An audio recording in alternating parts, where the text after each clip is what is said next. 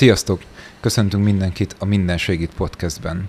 A mai napon remélhetőleg kísérletet teszünk arra, hogy az eddig az emberiséget fenyegető veszélyek közül megtárgyalt témákból egy ilyen lehetőleg átfogó és kompakt összefoglalást adjunk, illetve megcélozzuk azt az irányt, hogy hogy tudnánk ezt vajon a lehető legközérthetőbben és a legérthetőbben elmondani. És ennek az alkalmából Szalóci Zsoltot hívtuk ide el hozzánk, aki megtisztelt minket jelenlétével, úgyhogy én azt javasolnám, hogy vágjunk is bele, és kezdjünk hozzá ehhez a talán legfontosabb témához. Szia Zsolt! Szervusztok, köszönöm a meghívást. Köszönjük, hogy itt lehetek, hall, hallottam, jó hangulatú beszélgetések folynak itt. Hát. Igyekszünk. Szerinted hogy lehetne elég röviden elmondani azt, hogy te most miért ülsz itt, és miért kell erről beszélgetnünk? Hát az, amit itt megcéloztunk témaként, azt gondolom, hogy a legfontosabb témája kell legyen mindenkinek, de ezt nem tudja. A többség nem tudja. És egy ilyen adások, ilyen beszélgetések talán segíthetnek abba, hogy egyre több ember ismerje fel, hogy bizony ezzel a dologgal mindenkinek van tennivalója. Nem a világbéke, a világ megmentése ügye érdekében, hanem saját maga szempontjából, a saját maga érdekében, a családja, a gyermekei, a, a barátai, a rokonai, a kapcsolatai érdekében, mert mindenkit érinteni fog. És mi már az, ma is érint tulajdonképpen. Az ez a dolog, az mi? Hát igen. A, ha nagyon általánosan tudok csak válaszolni, mert a dolog az az, hogy van egy nagy változás. És ez a változás, ennek a sebessége gyorsul.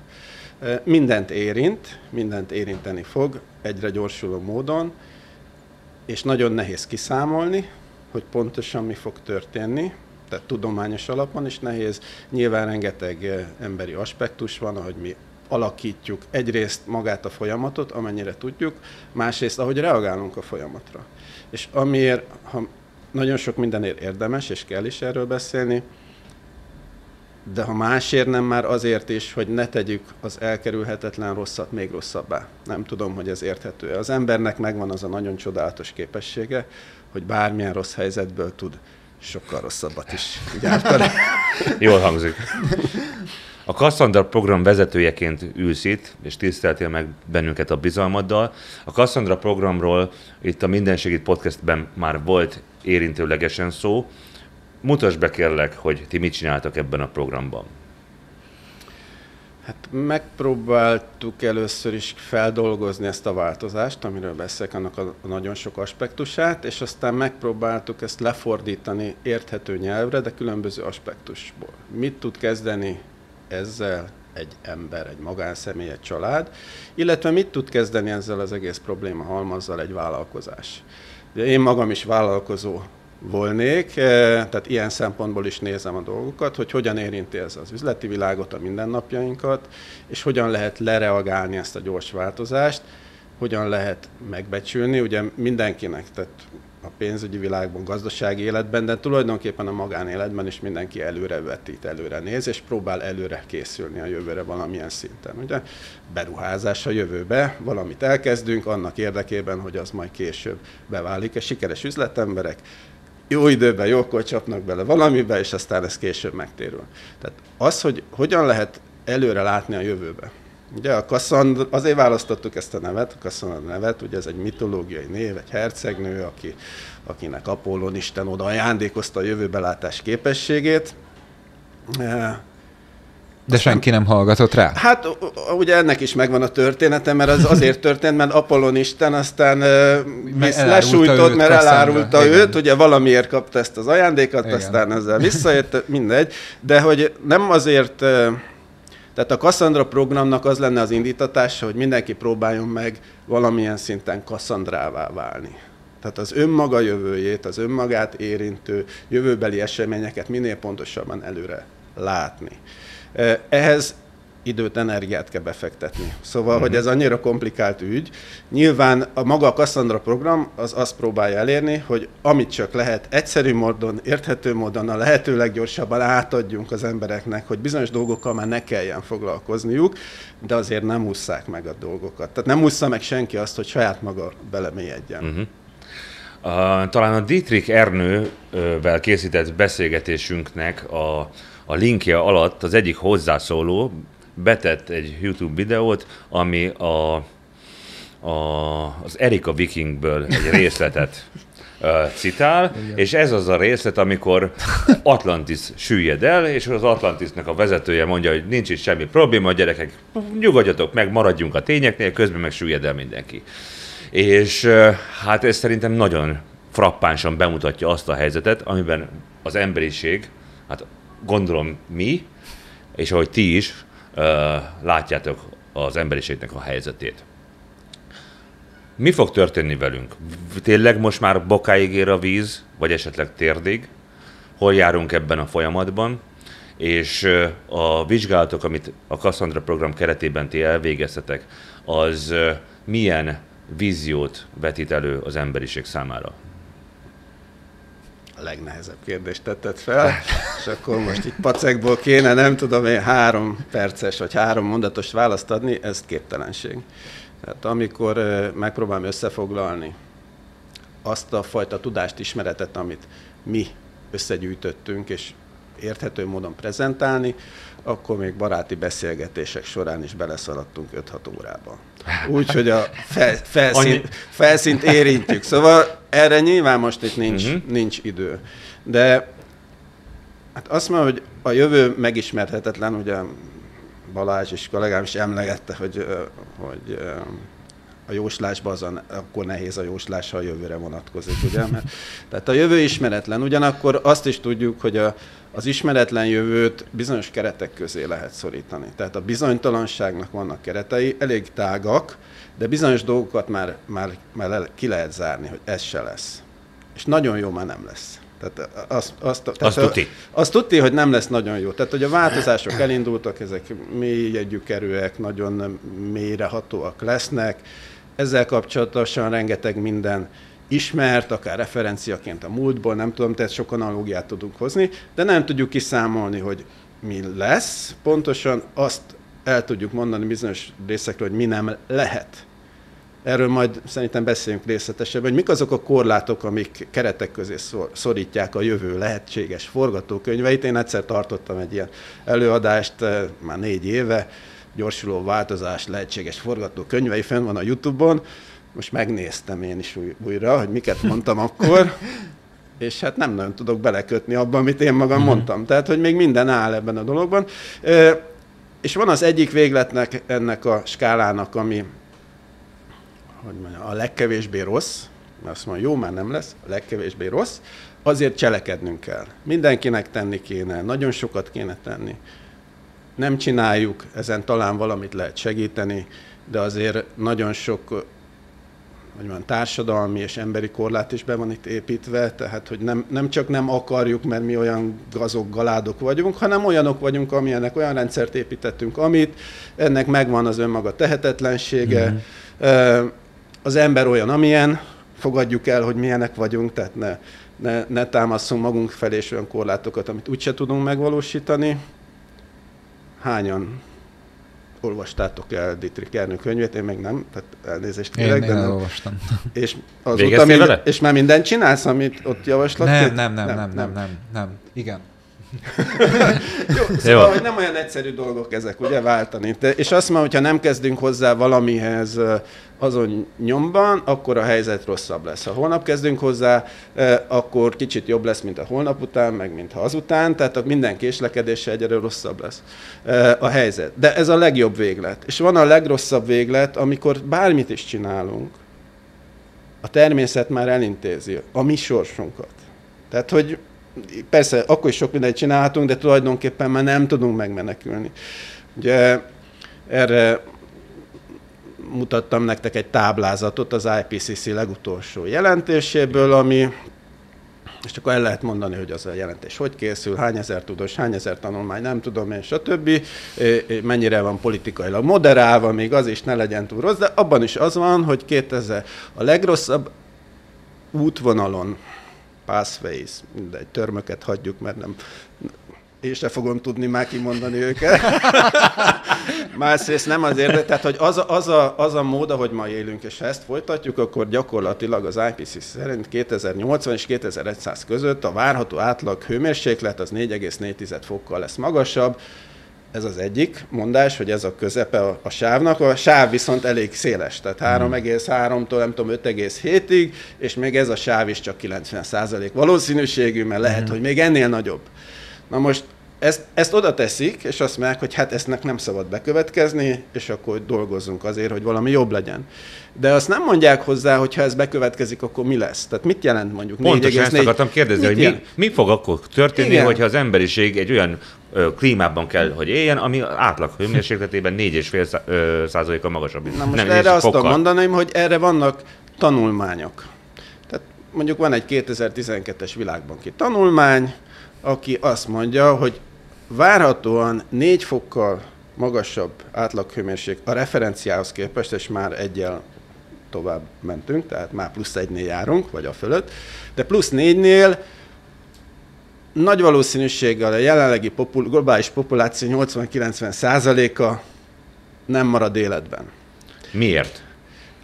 Sok oka van maguk az ökológ, tehát a gyors változás, ez egy gyors változás. Tehát geológiai skálán az, hogy itten tíz, tizen évek, évtizedek alatt Celsius fokokat lép a hőmérséklet, ez egy nagyon nagy változás geológiai skálán, mindenkit megvisel, az egész ökológi, ökoszisztémának minden tagját, meg lényegében az ökoszisztéma e, pusztul ki, és mi is az ökoszisztéma része. Ezt ugye elfelejtjük. Ezt nagyon elfelejtjük, nagyon elfelejtjük hogy persze itt vagyunk egy kedves kis kocsmában, meg nem tudom én, ne, nem nagyon látszik az ugye, ökoszisztéma. Ez, ez nem reggel, ez kocsma.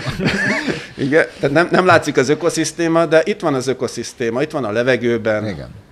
Igen. Belélegezzük az oxigént, az, az nem mit mesterséges, az jön a levegőben, benne van. Az, hogy... Ebben hogy víz, be van a, igen, igen étel, az ételben, igen, igen, igen, ez minden, minden jön, tehát hogy, hogy annyi mindent kapunk az ökoszisztémától, amit nem tudatosítunk, természetesnek veszünk. Igen. Ugyanakkor az ember maga az egy, az egy olyan élőlény, aznak van egy metabolizmus, ott van input-output kellenek az inputok, aztán valahova az outputnak is mennie kell. Ez egy gyakori probléma a városokban, hogy hova megy az output. De hogy szóval, hogy elfelejtjük, hogy mi is pont ugyanolyan élőlények vagyunk. Tehát ezen a szinten ugyanolyan élőlények vagyunk, és minket is meg fog érinteni. Maga például a hőhullámok, amik egy nagyon rohamosan növekednek, ott van egy ilyen jelenség, hogy a wet bulb temperature, az ember miközben táplálkozik, meg folyadékot vesz magához, e, ezt égeti. Uh-huh. Nagyon fontos rész, hogy, hogy egyébként itt energiacsere zajlik, tehát energiát veszünk magunkhoz ételit a formájában, azt feldolgozzuk, az az energia átalakul, az beépül a mi szervezetünkbe, így úgy amúgy, de ez, ebben van egy energia, az energia csere közben hő keletkezik. Termodinamika második főtétele legfontosabb, amit meg kéne mindenkinek érteni, szerintem erről beszéljünk majd, mert, mert nagyon alapvető történet, de mi is hőt, hőt termelünk. És ez nem, nem elkerülhető, nekünk ezt a hőt valahol le kell adni. Na most nem, nem kutyamódjára adjuk le, lihegve, hanem egyszerűen a bőrfelületen adjuk le, de akkor tudjuk le, ugye az ember átlag hőmérséklet a 36 37 Celsius fok, ha melegebb a levegő hőmérséklete és 100%-os páratartalom van már benne, akkor nem tudunk belepárologtatni a levegőbe. Azaz? Azaz, a hőt nem tudjuk elveszíteni, nem tudjuk leadni. Azaz, felforrunk nem kell nagyon sok a felforráshoz, tehát ha 37 és félre főszalad, vagy 38-ra, akkor az már hőemelkedés, tehát hogy azt a finom határt, azt nem tudja, nem tudja a szervezet produkálni, mert nem tud hőt leadni. Bocsánat, hogyha jól értem, ez azt jelenti, hogy 2000, mit írunk? 2080 és 90 tájékán, hogyha 4 fokkal fölemelkedik a, az átlaghőmérséklete a Földnek, akkor lesznek a, a Földnek olyan helyei, ahol írt, már így is írtózatos magas, például Dél-Kelet-Ázsiában a páratartalom, ott az embereknek a konstans ö, testi hőmérséklete nem 36,6 lesz, hanem 37,6 teszem azt. És így fognak élni emberek?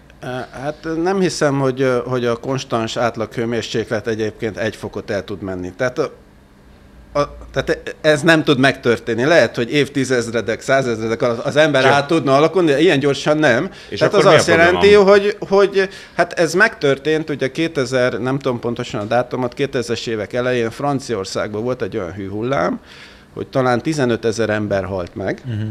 A hőhullám miatt az utcán. Tehát ez úgy jelentkezik, hogy nem konstatálod ezt a, ezt a dolgot, hogy nem párolog, tehát elkezdesz rossz lenni, aztán egyszer csak elszétültél, eldőltél. Nyilván az érzékenyebbeket érinti először, tehát ott is rengeteg idős ember halt meg, de egyébként az az esemény váltotta ki azt, hogy most már vannak hőségriadók. Uh-huh. Tehát, hogy jelezni kell az embereknek. Ez mikor volt? 2000-es évek eleje, nem tudom. És 2000... azóta vannak csak hőségriadók?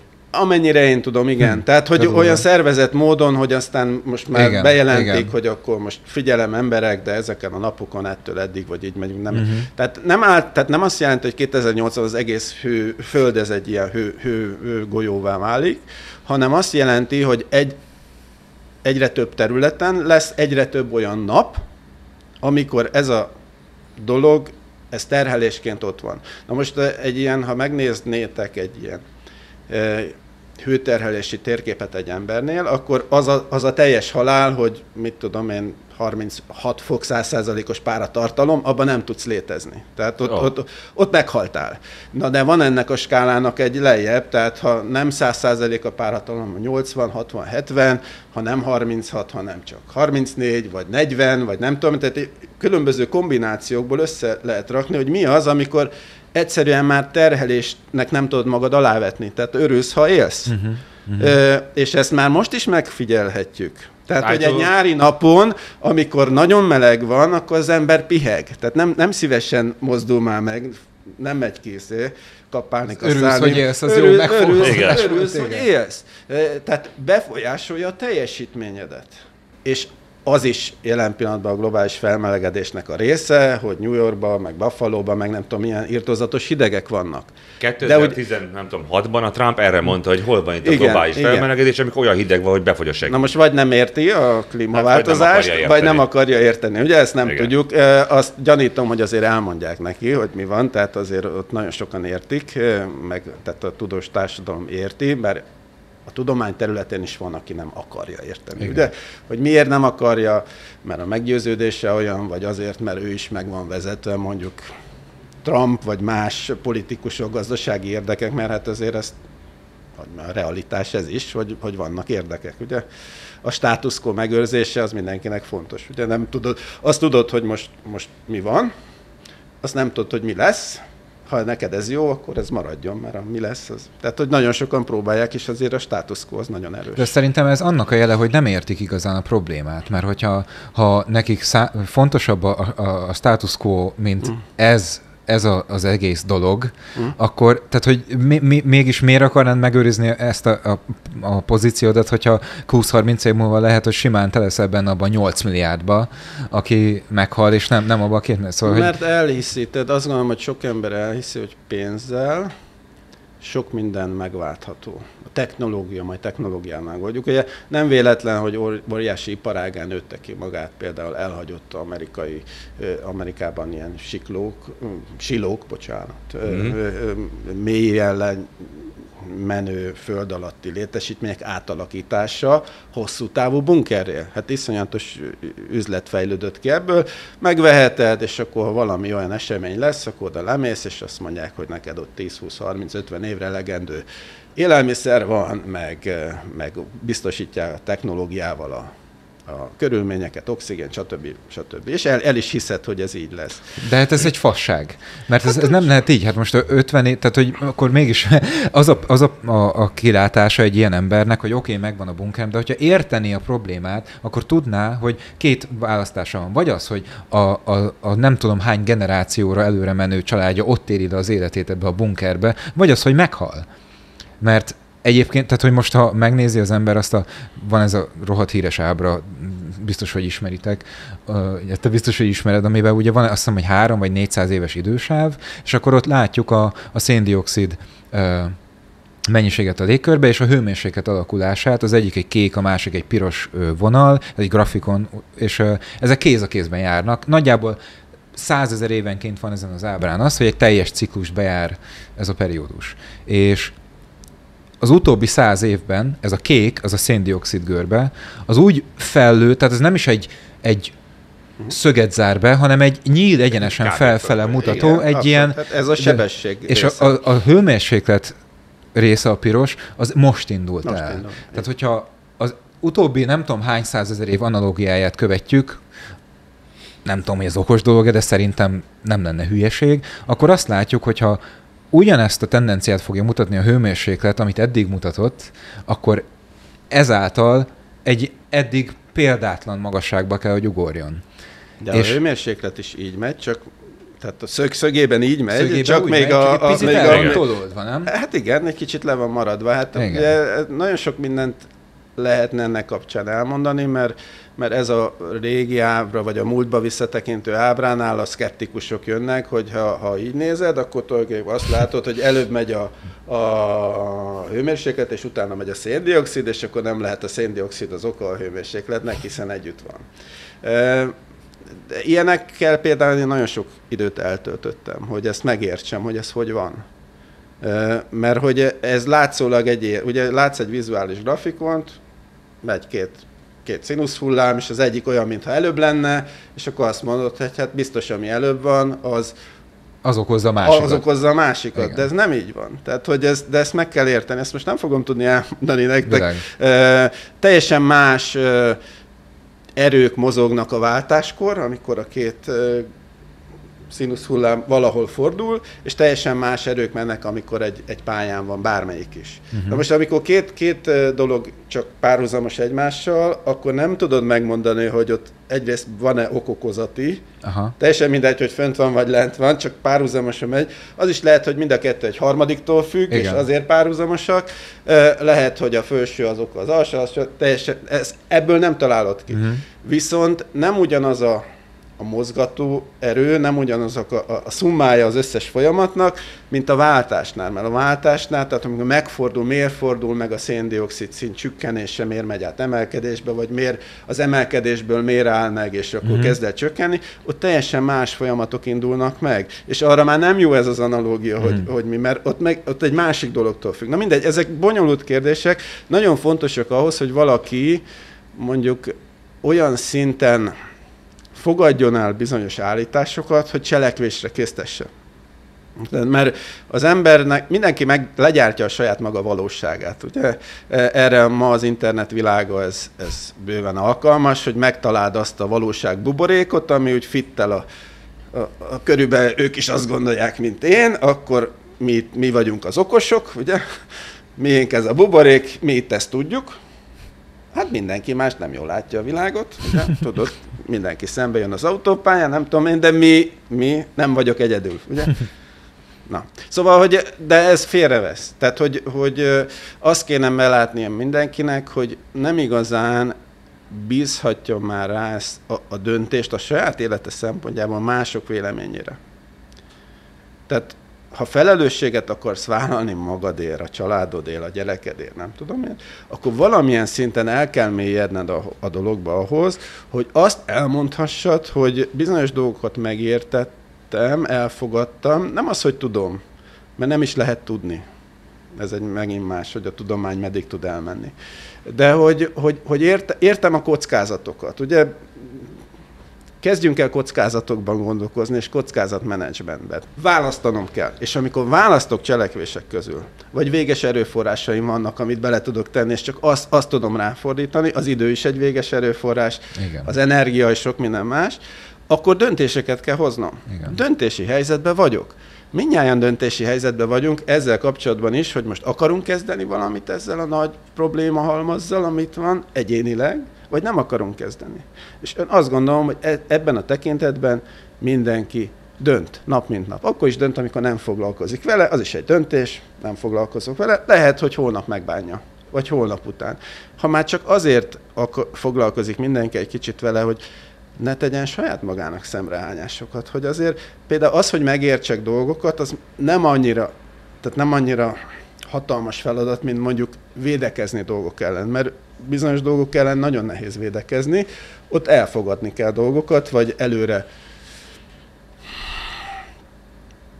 nem azt mondom, hogy beletörődni, bár bizonyos értem ez, ez se egy rossz szó, bele, az elfogadásnak egy, egy, egy szinonimája, hogy ami ellen nem tudok harcolni, az ellen fölösleges is harcolnom, mm-hmm. mert mhm. csak energiákat viszel tőlem. Vesztegetsz el. Én Igen. szerintem nagyon sok ember pont kétféle megfontolásból nem akarja belátni, hogy milyen folyamatos, folyamatoknak a részese. Ez az egyik. Az, hogy beletörödök. Ez van. Mit fogok tudni én egymagam tenni az ügy érdekében? Hát most az, hogy szelektíven gyűjtöm a szemetet, hogy miért nem menjek el a Seychelles szigetekre, hogyha most megtehetem? Hát ki nem szarja le, hogy most mennyi ö, kerozint égetünk el. Ilyen. A másik pedig az önzőség. Az, hogy mit érdekel engem a holnap gyermeke, vagy az unokámnak a sorsa. Hát én élek most ebben a pillanatban, én meg így érzem jól magam, tehát Zsolt a beszélgetés elején tett utalást arra, hogy milyen gátak akadályozzák azt, például az emberi egyénnek a, a, a, a világról alkotott képe, az önzőség és a többi. Hmm. Ezek, e, ezek szerintem elkerülhetetlenek. És ahogy látható, a széndiokszid kibocsátást ugye megpróbáljuk csökkenteni, és 30 éven keresztül nem hogy csökkenne, hanem még növekszik. Ez pontosan ugyanennek a, a, a szinonimája, hogy a, hiába akarunk mi bármit tenni, meg eldönti az emberiség, hogy na tegyünk valamit, hogyha még a legfontosabb és talán én azt gondolnám, hogy az egyik legkézenfekvőbb megoldás az lenne, hogy ez ügyben tegyünk lépéseket, és még ebben sem történik változás. Akkor viszont mi lesz velük? Arra, Mert hogy reagáljak, hogy elkezdted ezt a kis Igen. monológot, azt mondtad, hogy nem érdekel, hogy tegyek az ügy érdekében, mert Igen. nem érdekelnek mások. El tudod mondani ezt a monológot úgy is, hogy nem érdekel, mi lesz velem? Velem, igen. Mert hogy nem érdekelnek mások, az az, az önzőség, vagy nem tudom én. De hogy te, az sem érdekel, hogy veled mi lesz, azt mondom, hogy valószínűleg nagyon sok ember van így. De hogy mi egyébként a Cassandra programmal nem mindenkit célzunk meg. Mi azokat célozzuk, akiket érdekel az, hogy ő valamit tegyen, nem a világ megmentése érdekében, saját maga felkészülés érdekében. És ez egy relatív előny, ez, ez hát szokták negatívumként felmondani, hogy igen, de hát akkor ez itt, most ez cél, hogy akkor az egyiknek jobb legyen, meg a másiknak rosszabb. Ez nem cél, ez egy helyzet. Tehát, hogy ha, ha, leg, ha nem fogod tudni megmenteni a világot, hanem akarod megmenteni saját magad. Ugye ez egy hogy ma alapvetés. Először nekem kell e, megmaradnom, túlélnem, hogy minden nap jól, jó kedéllyel, energiával fölkelnem ahhoz, hogy cselekedni tudjak, mert ha én beteg vagyok, akkor én már nem tudok tenni semmit. Tehát, hogy azért ez, és ez az önzőséggel egyébként ugye paralel van. Igen, ez ugye? Tehát, hogy ez, ez, ez, ez összhangban van. Tehát itt, itt mi adaptációról beszélünk, és az adaptáció az egyéni egyéni ügy, az nem közügy. Ugye a klímaváltozás kapcsán a mitigáció szó, meg az adaptáció szó kell mondjuk megérteni mind a kettőt. A mitigáció kevésbé ismeretes, de a mitigáció az, az hogyan tudjuk csökkenteni a levegőnek a széndiokszid tartalmát. Nyilván úgy is, hogy kevesebbet teszünk bele, nyilván úgy is, hogy megpróbáljuk kivenni Köszönöm. belőle, és akkor végtelen mennyiségű hogy olyan potenciális lehetőségünk van erre, és azt csináljuk, ültessünk fát, meg nem tudom én, építsünk olyan hogy már üzemeket, amelyek majd kiveszik a széndiokszidot, meg stb. stb. De ez a mitigáció témaköre. Ez, ebben sajnos az a helyzet, hogy az a széndiokszid molekula, ami itt kering a, ebbe a helységbe, az potenciálisan jó szélviszonyok esetén másfél nap múlva Argentina fölött lesz az a molekula. Mert egyébként, ha felszáll, akkor a, olyan gyors légáramlások vannak, pillanatok alatt megkerül. Tehát, hogy, hogy a széndiokszid kibocsátás az egy univerzális ügy. Hiába mondja azt az Európai Unió, hogy mi akkor 2030 30-ra 55 százalékkal, meg aztán majd 40-re, 50-re. Az egész amúgy, világtól függ. Az egész világtól függ, mert az Kínába exportált termelés, és az ott beindított szénerőműveknek a széndiokszid kibocsátása ugyanitt lesz fölöttünk, és ugyanúgy Igen. okozza nem csak a globális felmelegedést, hanem a lokális szélsőségeket is. Tehát, hogy ez egy, ez egy közügy a mitigáció, de az adaptáció nem. Az adaptáció az egyéni. Az, az függ attól, hogy hol vagy, az függ attól, hogy hogyan készültél fel, függ attól, hogy, hogy mennyire vagy sérülékeny, tehát mi, mire készültél fel, függ attól, hogy miket csinálsz, tehát mik azok a tevékenységeid, azokat hogyan fogja érinteni a, a nem csak a klímaváltozás, tehát azért beszéltünk a komplexitásról, itt ez nagyon, nagyon sok probléma halmaz megy párhuzamosan, és ezek összefüggenek. Hmm. Tehát, hogy, hogy mindezek a folyamatok, ha megértem, akkor elkezdek abban gondolkodni, hogy jó, de hogy érint ez égem, engem potenciálisan a mindennapjaimat. Az a táplálkozásomat, a, a, az élőhelyemet, a, a lakásomat, a házamat. A, az életben maradás Az életben maradásomat, de aztán benne van az üzlet és a gazdaság, hiszen amíg ez a globális társadalom van, így ahogy van, addig a pénz bekerülhetetlen. Mert mind, tehát ez az árucsere, azt meg kell keresni, azt valahogy szert kell tenni rá, és azt valahogy értelmesen el kell tudni költeni, mert abból tudom mind fenntartani saját magam. Tehát, hogy nem tudjuk megkerülni ezt a kérdést, a verseny kérdését. Tehát hogyan lesz nekem jó munkám, hogyan lesz jó vállalkozásom, hogyan keresse az, és ugye itt ebben az ügyben össze vannak zárva a tulajdonosok, meg a vezetők, meg a dolgozók, mert ha a vállalkozás lehúzza a rolót, akkor mindenki a tulajdonos lesz. vesztett, a vezető vesztett, a dolgozó vesztett, mindenki vesztett.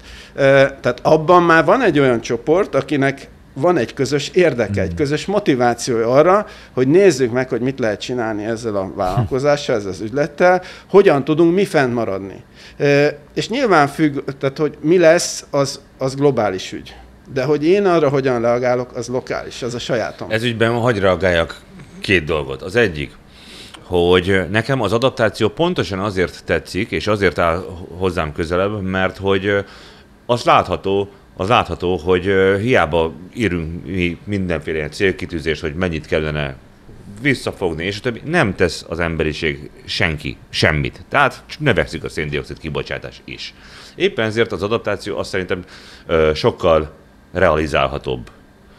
Ez az egyik része. A másik része, az pedig, hogy Tökre érdekelne, hogy a Cassandra programon belül a gazdasági folyamatokat hogyan ö, dolgozzátok föl, milyen eredményre juttok, mert hogy éppen az volna szerintem az egyik legfőbb ö, mozgatórugója ebben a kapitalista berendezkedésben, hogyha ebből valahogy profitot lehetne termelni. Az emberiség számára ö, radikális változásokat kifejezetten a pénzügyi oldalról lehetne foganatosítani, hogy ilyen gyönyörű kifejezéssel Ez csodálatos volt. Csak úgy chillingelt. Igen. Hát ahogy azt mondjuk, hogy a társadalom alapegysége a család, úgy az üzleti véle, a gazdaság alapegysége egy vállalkozás, ugye egy entitás, jogi személyiség, ugye? Élő személy, jogi személy. E, tehát ott van egy ilyen virtuális képződmény, ami virtuális képződményt ugye életbe tartanak a törvények, a jogi szabályzás, hogy mi, mi, mire van joga, meg adóznia kell, meg hol van, meg stb. Tehát a szabályzásnak óriási szerepe van minden vállalkozásra. Vannak neki tulajdonosai, befektetői, akik átadnak ugye valamilyen tőkét, eszközöket, stb. És aztán kiküldik a csapatot a vezetővel, meg a dolgozókat, hogy akkor ebből csináljatok többet, ugye? Találjátok ki, hogy mi az, vagy meg is mondjuk, hogy mi az a tevékenység, de hogy igen, legyen több. Ez a több, ez nagyon tehát mindig többet és többet, mert erről, erről szól az élet, ugye? És ez megkerülhetetlen, tehát van digrósz, meg nem tudom én, tehát hogy hogyan, hogyan lehet kevesebbet, meg egyre kevesebbet, de arra ez a fajta motivációs rendszer alkalmatlan. De ez van. Tehát abban igazad van. Én azt mondom, hogy, hogy nem tudjuk megváltoztatni a nagyvilágrendszert, hogy hogyan működik, legalábbis nem a mi dolgunk. Nyilván a, mit csinálunk a kasszadna program, egy legfontosabb az ismeretek átadása. Tulajdonképpen itt is valahogy egy kicsit az mhm. történik, hogy, hogy nyissuk fel a szemeket, és ugye meg kell ismertetni a vezetőket, a tulajdonosokat azzal, hogy milyen valós problémákkal szembesülnek, olyanokkal, amelyeket eh, hát vagy tudnak, és, de mégsem, vagy nem is tudnak. Ha, ha, ha tudják, és ne, mégsem, akkor nem értékelik eléggé a helyén hmm. a problémákat, azért nem, mert besorolják. Tehát az első az információ átadás, oktatás. Van ilyen programunk, a vezető képzés, ha úgy tetszik, ugye, hogy, hogy ismerd meg, hat órás programok, meg nem tudom, nem lehet átadni öt percben ezt a dolgot, mert annyira komplex.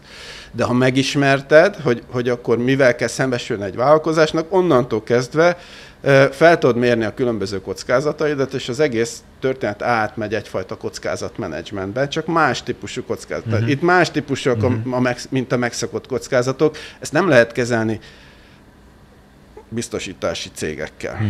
Ez nem megyek oda az Allianzhoz, vagy bárkihez, hogy akkor biztosíts le nekem az én klímakockázataimat, mert egyediek az én kockázat. A biztosítás az egy kockázat közösségre épül, hogy sok embernek van ugyanaz a ugyanaz a kockázata, de kicsi a valószínűség, nem mindenkivel fog megtörténni, hát akkor összedobunk kis pénzt, és akivel megtörténik, azt ezt kisegíti. Itt viszont mindenkinek egyéniek a kockázatai. Tehát a, a, a te kockázatait nagyon sok mindentől függenek, és nem fogsz találni még egy másik vállalkozást, akinek pont ugyanolyan kockázatai vannak mert mások a beszállítói, a termelői, a vevői, a nem tudom én, sok minden. Na most ezeken mind végig kell menni, hogy akkor mi az az értéklánc, amiben te benne vagy. Az várhatóan hogyan fog befolyásolni az egész lánc. A, a, az erőforrásoknak a rendelkezésre állása, beszállítóják, stb. vevők, hogyan fog, a vevőit kik, azokat hogyan fogja érinteni a klímaváltozás. Mm-hmm. E, vannak ilyen kérdőívenk, és akkor hogyan érint téged például a tengerszint emelkedése? És akkor miért, miért releváns ez itt Magyarországon egyáltalán ez a kérdés? Na ja, de ha én exportálok, és az én egyetlen egy nagy vevőm van, és az nem tudom én Japánban van, akkor ott nagyon is nem mindegy, hogy Japánban pontosan hol van akkor ő a tengerszinthez képest, és az mikor fogja hát meg amúgy is hosszú távon releváns, szóval... Hát mert mindenkinek releváns, de hogy már rövid távon is relevánsá tud válni, akár mm-hmm. egy magyar cég számára is.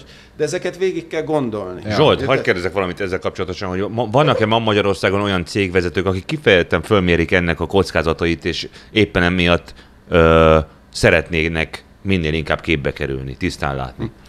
E, nagyon kevesen.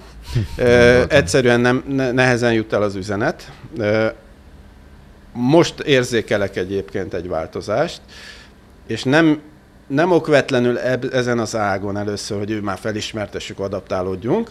Azon az ágon, igen, az adaptációnak az is egy fontos része, hogy hogyan készülünk fel a várható szabályzási változásokra. Na, az viszont már megjelent. Tehát ugye a különböző uh-huh. EU regulációk, meg stb. kötünk azért nemzetközi egyezmények vannak, stb. Már befolyásolják, már megjelent, és ugye én látom az összefüggéseket az energiaválság és a klímaváltozás, stb. meg az egész komplex rendszer között, de ha csak az energiaválság részét érti meg egy cég, akkor már, akkor már nagyon befolyásolja már ma is. Aha, ugye? Aha, tehát, tehát ha viszont megérti, hogy ez hogyan függ össze más fontos tényezőkkel, akkor kicsit előre tudja látni azt, hogy az energi- a saját energiapolitikájában mit kéne csinálni. Uh-huh. Az, az egy reális út, hogy oké, okay, csak átalakítom az energiabeszerzési forrásaimat, vagy az egy reálisabb út, hogy akkor próbáljam csökkenteni az energi- tehát olyan termékek, olyan tá- gyártási folyamat, amivel nem fogok annyi energia igényel megjelenni a piacon. Melyik út a, a milyen kockázatokat hordoz a számomra. Tehát nagyon fontos, sok üzleti döntést kell meghozni. Nem fel sem merülnek, tehát az egyik, hogy általában nem merülnek fel. Most elkezd, tehát azt mondom, most már elkezdték megérteni, most már volt nagyon sok ilyen beszélgetésem, ahol, ahol most már, már, már szemek már kinyílnak, most már, már befogadóak az emberek. Ideje. Ideje, nagyon ideje. Ugye jönnek az üzenetek is, tehát a, a mitigáció és adaptáció palettáján azért már évek óta azt mondja mondjuk a Guterres az ENSZ főtitkára, meg mások is, hogy, hogy ami központi forrásokat, pénzügyi forrásokat tud biztosítani a világ, a világ országai, tehát a na- nagy pénzekről beszélünk, hogy azt már most meg kéne felezni, hogy fele a mitigációra, fele az adaptációra menjen. Hm. Tehát, hogy az adaptáció legalább olyan fontos, mert a mitigációt tegyünk meg mindent, de nincs garancia arra, hogy sikerül, ha megtettünk mindent. Ezt mondtam az előbb, hogy nem, nem, nem nagyon tűnik úgy, mint hogy a sikeresek lennénk. Igen, de ennek megvan az oka. Uh, Megadaptálódni akkor is kell, hogyha a lehető legjobb opció lesz. Persze. Mert az mert is az nagy változás mert Igen, lesz. mert az, az sem lesz jó. Tehát azt mondom, hogy odáig azért gyorsan el lehet jutni szerintem. némi értelemmel, hogy belássuk, hogy a legjobb változat sem olyan jó. Igen. Jó? De Külföld, mi, mi, igen? külföldön vannak-e, rá, van-e rálátásod arra, hogy külföldön a cég és vállalatvezetők nyitottabbak-e e témában? Több, több, több hatás éri őket, azt gondolom. Tehát, hogy sokkal nyíltabban beszélnek, sokkal inkább benne van a válti kultúrában. A cselekvés oldalon azért, tehát ahhoz, hogy cselekedjen bárki is, ahhoz ennek a problémának nagyon rövid távúvá kell várnia. Ugye? Mert azért abban, ugye az irány azért rossz, mert hogy nehezedik minden, úgy az erőforrásaidat egyre rövid távra, egyre rövidebb távra tudod csak uh, nagyon elhelyezni. És ha azt mondod, hogy oké, okay, látom a problémát, de hát Mhm. ez nem idén van, hanem jövőre, vagy két év múlva, vagy öt év múlva, vagy tíz év múlva, minél messzebbre teszem, annál kevésbé tudok allokálni rá pénzt. Tehát azt felismerni, hogy ezzel való foglalatosság ennek a komplex, az már rövid távon meg tud térülni, na itt még azért kevesen, kevesen uh-huh. tartanak. Tehát, hogy, hogy annyira, annyira előre hozzák, eh, mert még mindenki, mindenki a, talán jobban a, a természeti változásoknak a hatásait próbálja, hogy akkor jó, jó, hát nagyobb lesz a hőmérséklet, nagyobb lesz a szél, de most az érint, vagy nem érint. De Több nem, klímát kell beszerelni. mit tudom én, oké, okay, majd fizikailag kezeljük a fizikai, de én szerintem az, az alapvető probléma egyébként az a humán rendszereken keresztül fog visszacsatolni. Tehát például a pénzügyi világ a legelősebben motivált az anticipációra. Ugye, hogy a jövőt diszkantálja ide elénk. Először a pénzügyi rendszeren válható egy nagyon drasztikus változás, összeomlás jelei, mert ők már anticipálni fogják, hogy oké, okay, 5 év múlva, 10 év múlva itt mi lesz. Tehát amik először ez várható, ennek is van egy irodalma, hogy mondjuk ha összeomlásról beszélünk, és elhangzik egyre többet ez a szó, hogy összeomlás, nem igazán tudjuk, hogy mit jelent. Ugye? Vagy, vagy mit akarjunk érteni rajta. És nem, én nem mondom, hogy én értem, hogy mit, de hogy erről beszélnünk kell. Mert ez egy valós dolog, hogy hogyan reagálunk arra, hogyha minket körülvevő rendszereink elkezdenek nem funkcionálni. Ugye? Vannak, nyugat ebben is talán előrébb jár, hogy ott központilag vannak olyan programok, nekem van egy norvég barátom, ott nekik államilag hogy mondjam, közzétett program van, hogy mit tartsál otthon mondjuk egy kéthetes, totális Igen. Blackout. blackout, Igen. nem működik semmi, hogy akkor mivel, tehát hogy van ennek oktatása, Igen. meg, meg kapsz hozzá irodalmat, segítséget. Igen. Előbb-utóbb ez terjedni fog, meg mindenütt lesz, de tehát, hogy bizonyos értelemben előre járnak, de de egyre inkább mindenkit szorítanak a napi gondok. Mert hogy Igen. ezeknek mind van napi kivetülése, még ha nem is kötjük össze. Tehát, hogy energiaválság mindenkit megcsapott, ugye? Nálunk is, hát erről szól minden, rezsiügyet nem tudom én, de a, ez, ez nagyon komoly probléma. Tehát ha a számokat látjátok, én azért figyelek tőzsdejár mozgásokat, Én tehát is óri, óri, el, óriási, óriási. Ugye hál' Istennek most már valamelyest meg, megnyugszanak a piacok, mert ezt a telet talán most már valahogy tűléri Európa, de ez egy globális probléma. Tehát, hogy ne, azért semmi nem oldódik meg, ez a fosszilis, nem fosszilis kérdés, ez egy, ez, ö, én egyébként ezt nem láttam még jól kitárgyalva, még nálatok sem. Ezt Mármint a foszilis kérdés? Igen, igen. Tehát, hogy miért, miért nem tudunk leállni a fosszilisről? Aha. Hát azért, mert például Amerikában a Trump azt mondta, hogy nincsen ö, ipar, akkor tessék kinyitni újfent a, a szénbányákat, az acélüzemeket és a többi. Nem csak. Hát ez Nem, komplexebb ig- egy kicsit. Hát igen, de csak ez egy példa volt. Igen, Tehát, hogy igen, szembe megyünk. Sok ö, minden miatt, de, de először is azért, mert nincsen igazi alternatíva. Tehát, hogy a, az, az, az, a megújulónak kikiáltott energiafajtásban, ez szerintem erről a Gerencsér eh, professzor úr ez ezért beszélt. energiaigényes. Igen, rende, igen, tehát hogy, Nyersanyagigényes. hogy az lenne egy igazi megújuló energia forrás, nem szeretem forrás kifejezés, mert olyan, mintha az úgy Csak úgy, úgy jönne. úgy, csak úgy jönne valahonnan. De energia az nem keletkezik, energia csak átalakul. Ugye ez megint fizika, termodinamika. Termodinamika. Ezt majd elmagyarázod valamikor? Hát talán most, nem? Nem lehet most? Lehet akár most is, mert, mert, mert nagyon fontosnak érzem, Igen, hogy ezt igen. lássuk. Szóval Tehát, a, hogy- igen, a, tájékoztatóban ez volt az egyik olyan alappillér, amit azt hiszem az a példa is volt az írásban, hogy ha mondjuk megkérdezel 50 tudóst erről, vagy valamilyen, mit tudom én, ta, kémia tanát, vagy akárkit, szóval, hogy művelt embert, képzett embert, akkor egy csomóan nem tudják, hogy mi az. Igen, sz- szoktam emlegetni egy előadásokon Charles Percy Snow, egy angol, volt azt hiszem.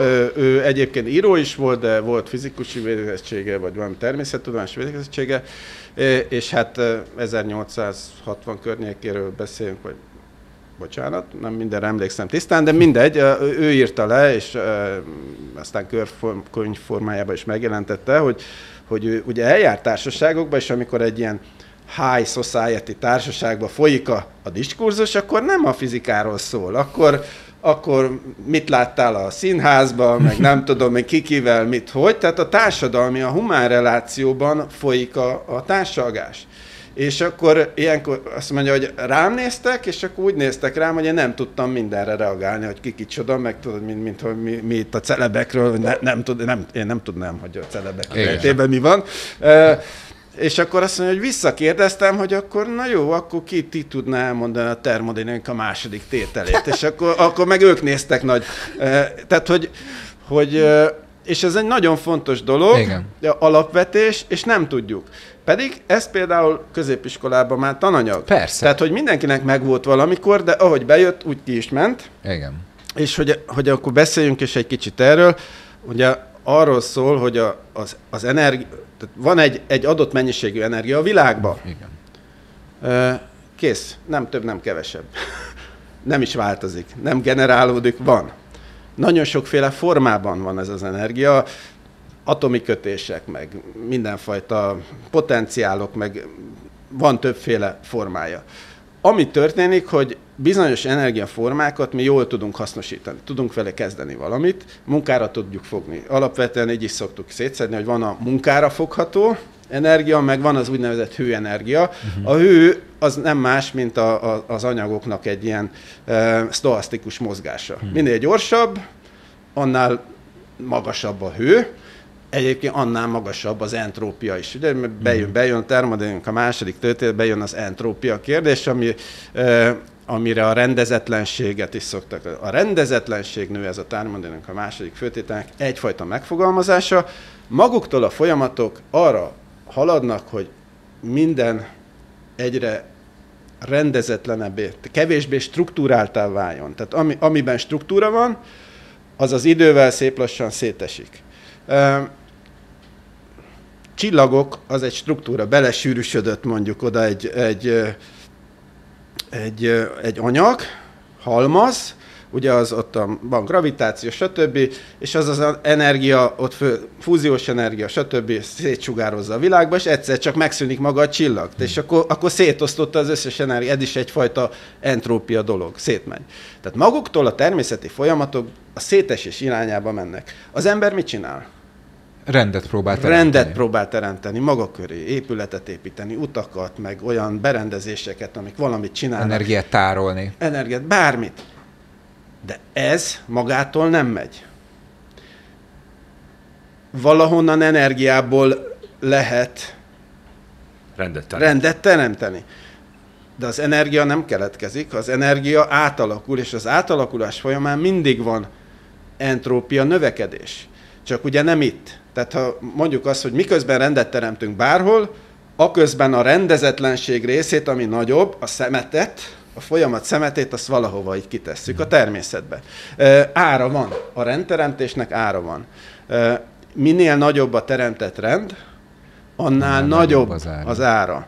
Nagyon fontos össz- összefüggés, nem, nem nagyon ö, megkerülhető gazdaságilag különösen nem, hogy a, mit elhangzik mindig az energiahatékonyság, hogy csináljuk hatékonyabban. Ugye fűtsünk hatékonyabb rendszerekkel, vagy mm. oldjunk meg ugyanazt. Ja, a paradoxon, ugye? E, az is van. E, mindjárt arra is kitérek, Bocs. a Jevons paradoxon, de nem. E, arról van szó, hogy, hogy hatékonyabban lehet pénzügyileg, tehát GDP, GDP-t mondjuk, ugye állítsuk elő a GDP-t kevesebb energiával. Hogyan lehet ezt megcsinálni? Közgazdaságtan, hogyan lehet energia függetleníteni a GDP-t? Hát mondjuk úgy, hogy hogy ahelyett, hogy nem tudom én az utcán árkon, kábelt fektetve árkot ásnánk, legyen az az üzlet, hogy mi beszélgetünk. És ezt pénzért csináljuk. Konzultációnak hívják egyébként. Mondjuk elvész a pszichológusodhoz, és konzultál és akkor azt mondja, hogy hát ezért te, te jeljél. Ugye? Ez GDP. Kevesebb energia kell hozzá, mint árkotásni kint. Tehát elvileg a GDP-t lehet hatékonyabban csinálni, energiahatékonyabban, és ugye menjünk a szolgáltatások irányába, stb. De fenntartani a teremtett rendet nem lehet. És nagyon szeretem ezt is elmondani azoknak, akik erre fogékonyak. Tim Gerett nevű amerikai fizikus nagyon szépen levezette, hogy az elfogyasztott energiánk hogyan függ össze a teremtett rend pénzben kifejezett értékével. Nagyon wow. össze van kötve a fizika, a termodinamika és a gazdaság. Uh. És olyan, olyan összefüggés van, most ez csak egy számú, se jelent semmit, 2005-ös dollárban mérve egy dollárnyi érték fenntartásához 7,1 milliwattnyi energia kell. Okay. Ugye az, mindegy. De hogy van egy ilyen, na most ez nem megsporolható. Ha nincs energia, nem marad fent. Uh-huh. Nem marad fent az a teremtett rendünk. És itt van egy nagy, nagy hogy mert azt gondolom, hogy hiány mindenben, tudásban, és ez aztán cselekvésbe is mindenben megy, hogy oké, okay, hogy nem, nincs annyi energiánk, de az azt is jelenti, hogy nem tudjuk fenntartani azt, ami van. Nem tudjuk fenntartani az egészségügyet, az oktatást, nem tudom én, és ezt már látjuk. Tehát, hogy ezek már itt vannak, ha értjük az összefüggéseket, akkor látjuk, hogy, hogy miért van. Megyünk lejjebb a maszlói piramison, nem jut ugye a, a fejlődésben, a sok energia bőség időszakában egyre több mindent lehet megvalósítani az energiából.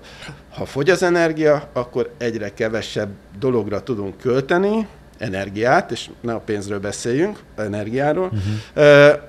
és azt az egyre kevesebbet ott fogjuk elkölteni, ami a leg, legfájdalmasabb, és mi van? Az a maszló piramis, enni kell, inni kell, Igen. biztonság kell, lakás kell, fejfedél kell, stb. És akkor hát az oktatás nem a színvonalas, hát, jó, hát akkor most nem jutott. Hát igen, csak hogyha ezt, amit most elmondtál, extrapolálod, akkor az lesz, hogy egyre több, egyre magasabb energiaigényű az egész világ, amit fenn kéne tartani, viszont egyre kevesebb forrás áll a rendelkezésünkre. Energia, nem? energia, igen, egyre, forrás, de ezért igen. nem is fogjuk fent, tudni fenntartani. Igen. Csak hogy ez, a szét, ez... ez a hatalmas oldó, ez akkor okvetlen azt kell, hogy eredményezze, hogy egy, egy rohadt nagy kollapsus fog történni. Abszolút. abszolút. Hogyha mind a két értéket a maximumra, a másikat pedig a minimumra kicsavarod, akkor ebből az szokott lenni, hogy... Igen, ez a katabolikus kapitalizmus című témakör, tehát hogy mit csinál a, a, a gazdasági rendszer, erőforrásokat importál bele a gazdaságba, természeti erőforrásokat, mert az van kívül, kívülről, jönnek a megújulók, de alapvetően nem megújulók, nyersanyagok, energia, stb. Az, azt így átalakítjuk, és építünk belőle teremtett környezetet.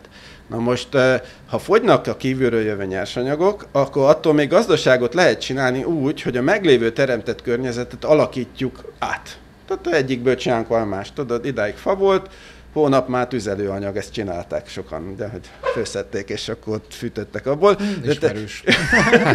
De mindegy, tehát hogy sokféle formája van, hogy a meglévő teremtett értéket átalakítsuk egy másfajta értéké, csak ebben a folyamatban entrópia, termodinamika, fogyni fog a cucc.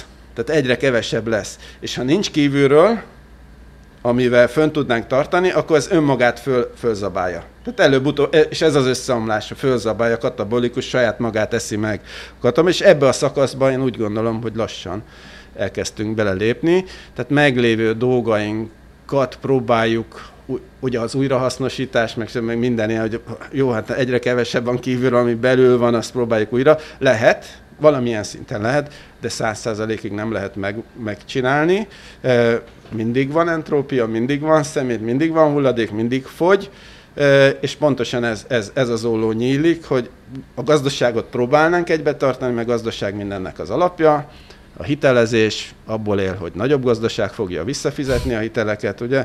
A nagyobb gazdaság az az meg energiát igényel, meg nyersanyagot igényel, az meg nem jön, az olló nyílik, és előbb-utóbb összeomlás lesz a, a vége. Szerintem egyébként itt a válasz arra, amit kérdeztél, nem tudom mennyi idővel ezelőtt, hogy tulajdonképpen mi az az összeomlás? Hát ahogy én eddig értelmeztem, számomra az összeomlás azt jelenti, ami nyilván egy, nem egy pillanatnyi művelet, hanem egy hosszabb folyamat, először csak degradál, aztán hogy a szög az milyen, ezt majd meglátjuk, de amit a cégekről mondtál, hogy ő, nekik lehetőségük nyílik különböző időtávok belátására, hogyha ezzel foglalkoznak. Mm-hmm. Szerintem már az egy foka az összeomlásnak, hogyha erre minden cég, vagy a legtöbb cég mondjuk rá kényszerül. De részemről akkor lenne maga a kollapszus, amikor már olyan rövid távú terveim lehetnek csak, mint hogy mit fogok enni vagy inni egy nagyon rövid időn belül. És azt gondolom, hogy a legrosszabb forgatókönyvek között, vagy ez nem is tudom, hogy a legrosszabb be, de hogy ez benne van a pakliban. Tehát, hogy ilyen alapvető van, dolgok uh, így jusson el az egésznek. Én szerintem ugye nagyon fontos azt tudatosítani, hogy ez is benne van a pakliban, a, a teljes összeomlás, még az egész civilizációnak a kihalás, kipusztulás, az is benne van, de nem tudhatjuk biztosan. Tehát legalább akkor a felelőtlenség azt mondani, úgyis mind meghalunk, Igen. mint azt mondani, hogy Semmi úgyis megoldunk Igen. mindent. Igen. Ugye? Mert a nagyon nagy széles a skála, sok minden lehet, különböző valószínűséggel. Tehát erre mondom én, de azt mondom, ez az én értékelésem magam számára, mert hogy én a saját cselekvéseimet határozza meg a saját értékelésem, hogy akkor melyik forgatókönyvhöz képest mit cselekszem, Igen. mennyire készülök a világ végére, vagy nem készülök a világ végére, halmozok, vagy nem halmozok, vagy már, már átmegyek zenbe, mert úgy csak fő kell dolgozni, és akkor, akkor ezt meg kell lelkileg feldolgozni, ugye Deep Adaptation ott volt, négyer, stb., hogyan, hogyan állok ezekhez, de nagyon sok mindent lehet. De az, hogy én mit cselekszem, az, az fogja meghatározni, hogy mit, hogyan vélekedem a jövő különböző lehetőségeiről. De nem tudok reálisan vélekedni, hanem nem foglalkozom vele. Kockázatot Ezt, kell számolni. Kockázatot kell számolni, ahhoz meg értenem kell a különböző kockázatokat, és melós. Ez, ez el kell mondjam nektek, hogy ez egy melós történet, hogy, hogy ezt Nyilvánvaló, megértsük. pláne, hogy, hogy annyira komplexé vált az egész életünk, az egész uh-huh. a, a globális világunk, hogy én szerintem az a leg kézenfekvőbb és legkönnyebb is egy átlagember számára a legnyilvánvalóbb hozzáállás a témához, hogyha azt mondjuk, hogy ezek a komplex rendszerek, hogyha már az, az, az, az egy tény, tézis, szerintem az elvitathatatlan, és mindenkinek meg kell értenie, hogy egy bizonyos szint után ezek a komplex rendszerek összeomlanak. Ez, ez szerintem vitatárgyat nem képezheti. Hát nem ké- kéne. Ké- nem képezhetné, de képezi, mert nem, nem is a vita, hanem az értetlenség tárgyát. Hát, ha, mert ez, erre kinek van tapasztalása? Egyébként irodalma Mondjuk, van, meg ezért, meg stb., meg, meg, meg is érthető szerintem viszonylag gyorsan, hogy, hogy miért, tud, miért fog tetőzni a komplexitást. Mondok erre egy jó kis példát, amit Hallgassuk. egy nem, nem egészen erre példa, csak a, csak a a, a gondolatmenet volt érdekes, hogy jártam eh, külföldön egy MBA kurzusra, és ott volt a makrogazdaság, volt egy... egy MBA kurzusra? MBA, igen. Az Amerikában volt, ugye? Amerikában hát amerikai kosárlabda, igen. Az, az, az. az. MBA. Igen, nem voltam elég magas, úgyhogy nem vettek fel. Na mindegy, eh, és akkor mondta a makrogazdaság, és akkor kérdést vetette az előadó, hogy tudjátok-e, hogy hogy lett régenből elnök. Hogy hogy lehetett egy színészből elnökké válni. És azt mondja, hogy nagyon egyszerű volt, volt egy jó tanácsadója, két kérdést tett fel neki, és mind a kettőre jó választ adott. Felteszem nektek ezt a két kérdést. Az egyik kérdés, hogy mennyi az állam bevétele akkor, ha az adó mértéke nulla. Mennyi a bevétele? Igen, tehát mennyi adóbevételre tesz szert az állam, ha az, az adó mérték nulla? Nulla. Nagyon jó, ez régennek is sikerült. A másik, a másik... Egy lépésre közelebb vagyunk az amerikai székhez. Ugye? Ugye? Ugye? A másik kérdés, az, az már ennél kicsit nehezebb volt. Mennyi az államadó várható adóbevétele, ha az adó mértéke 100 százalék? Nulla. Ne gyorsan rávágtad. Hát ez, ez volt az érdekesebb kérdés. Ez volt az érdekesebb kérdés, oké. Okay. Mert ugye ki a franc csinál bármit, és ha mindent elvisznek tőle. És akkor azt mondta, hogy nézze, régen úr, színész úr, ha itt nulla, meg itt nulla, és közben nem nulla, akkor valahol ennek van egy csúcspontja. Szóval annyit higgyen el nekem, hogy a csúcsponton az adómérték túl van adóztatva a társadalom. Nagyobb az adómértéke, a maximum, az összes adó, várható adóbevétel egy kisebb adómértéknél nagyobb lesz. És ezt ezzel... nem értem Magyarországon, csak jelzem zárójelben. Igen, ezt fel kellene tenni a magyar miniszterelnököknek is, ezt a kérdést. És akkor, hogy ő akkor először kell. még csak a kaliforniai kormányzóságért ment, de ezzel a programmal, hogy csökkentem az adót, hát nyilván meg is választották, mert ugye ez egy népszerű program, de nem sült bele. Mert ugye tényleg az volt, hogy tehát lokális adókról beszélünk, hogy a Kalifornia állam, az állami adóbevételei növekedtek arra, hogy ő csökkentette Kaliforniában az adókat, népszerűvé is vált, meg egyébként jobb életet is tudott, tehát hogy jobban működött az win, egész win. állam. És akkor azt mondta, hogy ezt a programot én ezt vinném az elnökségért, és akkor megválasztották, és ott is bejött neki. Tehát, hogy ilyen egyszerű dolgokon múlik ez a, ez a történet. Tehát, hogy a, a komplexitás által hozott előnyök, azok csak egy darabig vannak meg. Tehát a komplexitás az azt jelenti, hogy, hogy ha mondjuk szétosztjuk a feladatokat, én ezt csináltam, te azt egy ide, akkor hatékonyabbá tudunk válni. Ugye? És akkor ez alakult ki, hogy eleinte az ősközösségben ott még nagyon kevés volt a, a különböző feladat, aztán ahogy jött a mezőgazdaság, meg stb. ipari társadalom, egyre többféle szakma jött létre, egyre komplexebbé vált a társadalom. Nem tudom, nemrég olvastam, hogy hány, hány millió szakma van, vagy Igen. Fej, fejlett tisztségületi társadalom, Igen. és ez egy darabig előny, de egy idő után már nem. Tehát a, volt ilyen programunk, ugye, hogy akkor tegyük vissza egy sör alá tétre az adó Igen. szisztémát, meg nem tudom. Tehát, hogy az egyszerűs, tehát ha túl van, hogy ez a marginális hozamok, csökkenő hozamok törvénye, hogy még komplexebb, de már nem ad ennyi előtt. Még többször már nem ad, egyszer csak már semmi előnyt nem ad, és aztán még komplexebb, és még rosszabb lesz. És még komplex, egyre rosszabb lesz, és a komplexitás mentén minden összeomlik. És akkor már nem az komplexitás adja az előnyt, hanem a visszaegyszerűsítés, uh-huh. hogy akkor menjünk vissza uh-huh. térben, időben, legyenek egyszerűbbek a dolgok, és jobbá tudnak válni ez is egy fontos része a folyamatok, nyilván ez se old meg minden. Tehát, hogy látni kell, hogy azért tényleg az egy nagy probléma, amit a Gelencsér professzor is itt emlegetett, hogy a, az erőforrások fogynak el. Uh-huh. És hogy ez, ez a, a globális gazdaságnak egy nagyon fontos inputja mindenfajta tekintetben, és uh, talán elkezdtem a megújulókat valamikor, ugye a megújulóhoz rengeteg anyag kell, fejnehéz beruházásúak, uh, de hogy ha az anyagtól el is tekintünk, csak energiát nézünk, akkor, akkor tudna működni bármilyen új energiaforrás, hogyha az önmagát teljesen fel tudná építeni. Tehát azt mondja, hogy megcsinálom az első naperőművet, és akkor megvárom, hogy termeljen, és ami energiát termel, azt szépen elteszem, és abból, abból az energiából megépítem uh-huh. a mhm. következőt. És aztán, uh-huh. amit már ketten termelnek, uh-huh. abból megépítem a harmadikat, és amit uh-huh. ők termelnek, csak ez így nem működik. Uh-huh nem is elég gyors, meg egyébként nem is lenne energiahatékony, meg nem tudom én. Tehát építjük a napeleművek, hogy építjenek a napeleműveket? Fosszilis energiából építjük a napeleműveket. És minél több a megújuló energia, annál több a fosszilis energia használat is. Uh-huh. Tehát, és a kettő együtt fut. Tehát uh-huh. ne, itt, itt van egy látszólagos ellentmondás, de valójában nincs ellentmondás, mert csak így tud működni. Mert különben uh, honnan vesszük el az energiát? Tehát ahhoz, hogy építsünk egy új energiaforrást, mondjuk egy megújuló, ahhoz energia kell, Igen. önmaga nem adja még, mert most kell főhoznunk, akkor valahonnan el kell venni.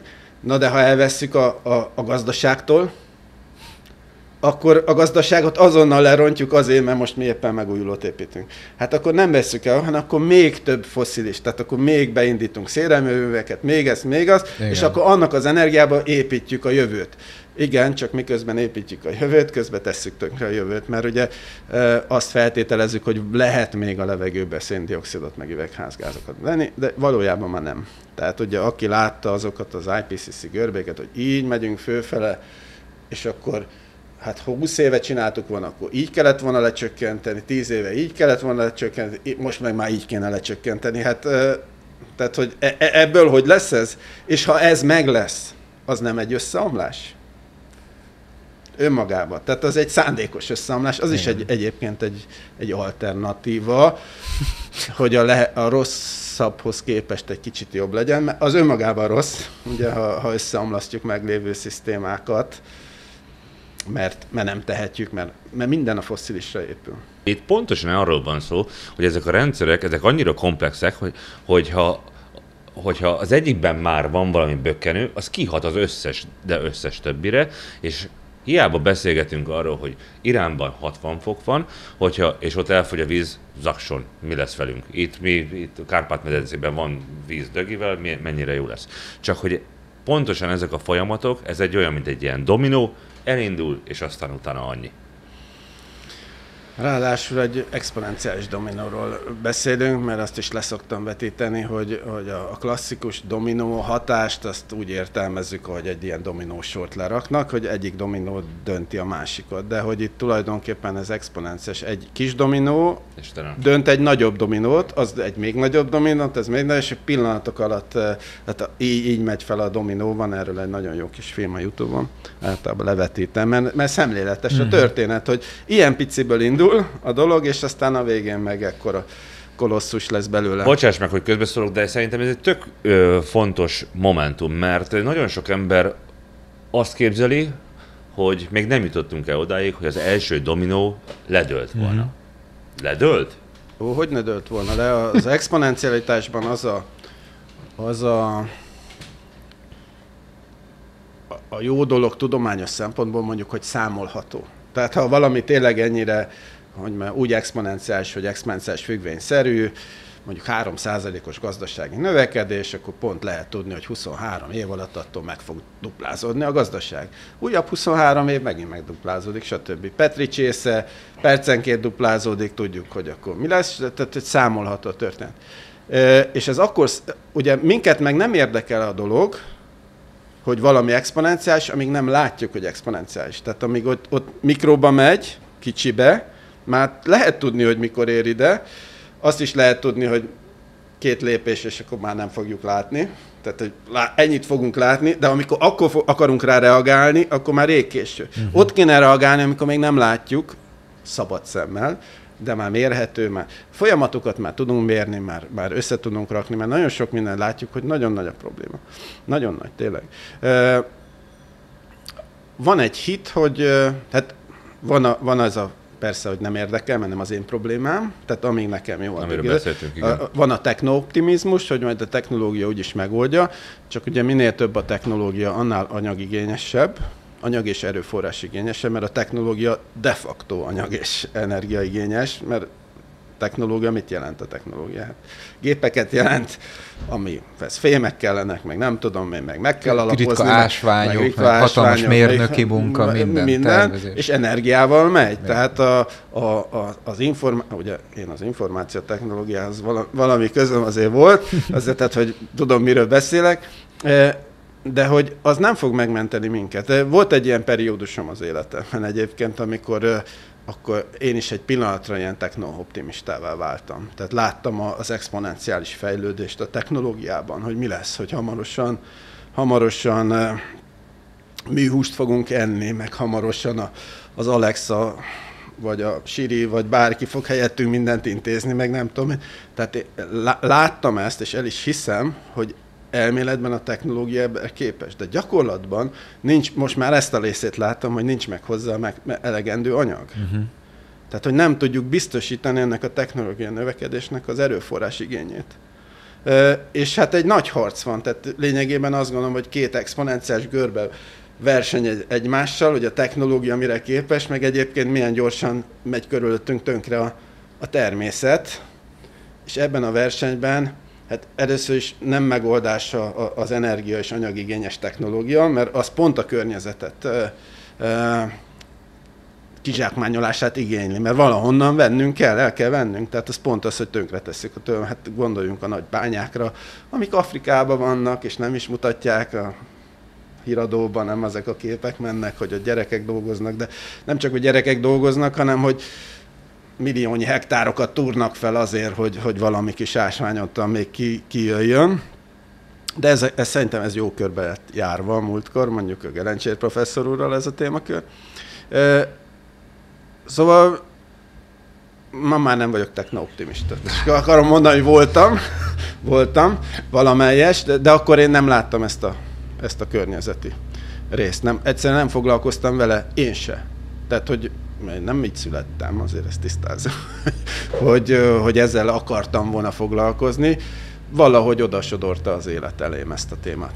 Tudják rólad jó néhányan, hogy az eltén fizika szakon végeztél, tanultál Amerikában, aztán a 90-es évek végén az akkoriban az egyik leginkább prosperáló informatikai részvénytársaságnak, a Synergonnak volt a, voltál a vezérigazgatója. Na most egy ember, aki ilyen életpályát jár be, hogyan jut el odáig, hogy a, az emberiséget fenyegető legfőbb veszélyekkel néz farkas szemet. Egy kicsit el kell gondolkodnom ezen a dolgon. Ne, nem arra, hogy, hogy, hogy hogy jött ez a dolog, mert ezt konkrétan tudom, hogy hogy jött, de hogy az életpályát, ha nézzük, ugye én ott nem csak vezérigazgató voltam, hát azt a céget én alapítottam. Tehát mm-hmm. az mhm. első számú tank, tank, takkönyv, de az az enyém volt.